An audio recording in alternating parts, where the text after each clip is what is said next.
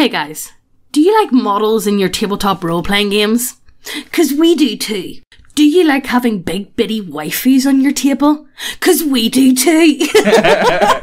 we got human biddies, we got lizard biddies, we got orc biddies, oni biddies, cat bussies. We've got everything you want at neckbeardia.co.uk. Check the links down below. It helps us out a lot.